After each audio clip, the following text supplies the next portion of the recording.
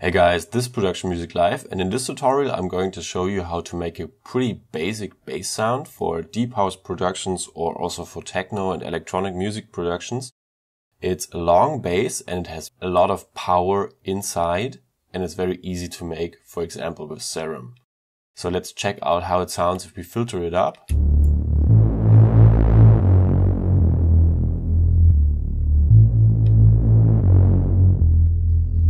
So it's this warm and long thing you want to put in there in the back if you're not looking for a rhythmic bass or if you just want this bass layer in there. Let's make this patch from scratch, init preset, and start from the beginning. So we can actually already take this default wave in oscillator A. Let's quickly listen to how that one sounds. We definitely need a filter on top of that. And I'm going to select this one, MG low 12 over here. And we need to be sure oscillator A is routed into the filter. And we take the filter down just a bit over here. And let's also take down the resonance. And that will do for now. Now we need to put up a bit of unison over here. So let's go to unison. We only have one voice playing. Let's play four. And let's detune them a bit together over here. And with this blend knob, we can also decide how loud all of them are going to be adjusted. And you can see we can play the mid two louder than the uh, outside two, but we can also even it out a bit more. So let's even it out and listen in.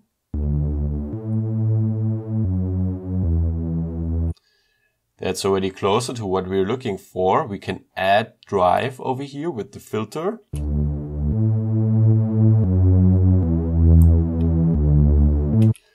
And this clicking is just our sidechain. So I'm taking that off for a minute and also taking off this pass filter here.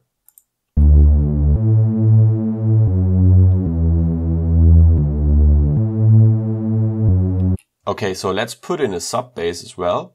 Click on sub over here. We select the sine wave. We are happy with that already. And we are taking it down one octave. I'm quickly deselecting the first oscillator so we can hear the sub bass.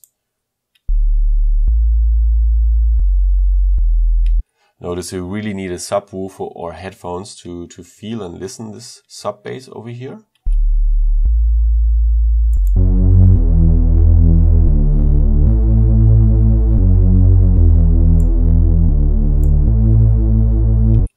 And since we are clipping down here, I'm taking down the volume a bit.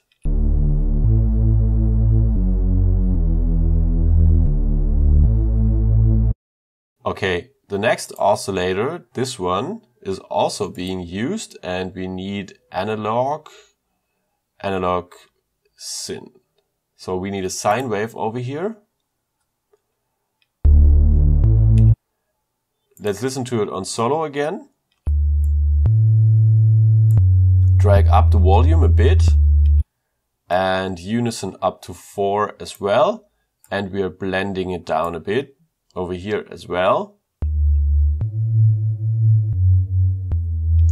This is exactly what we're looking for.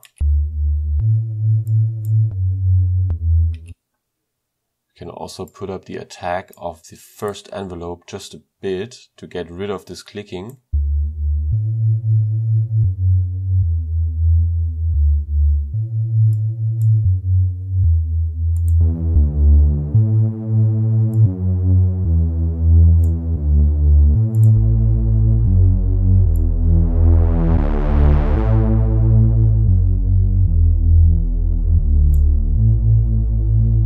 So there we go. This is our basic bass sound. You can go on and do a lot more stuff with effects now, but this is the basic thing.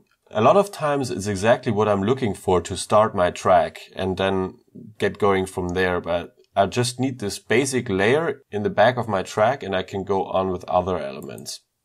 So let's play together with everything else.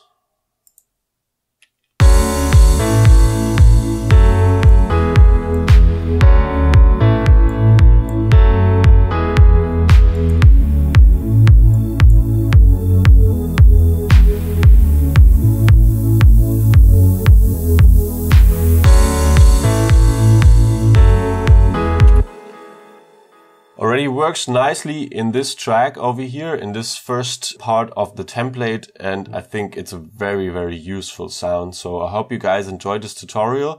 Check the description for more of our Serum and Massive presets. We also have this sound in Massive available.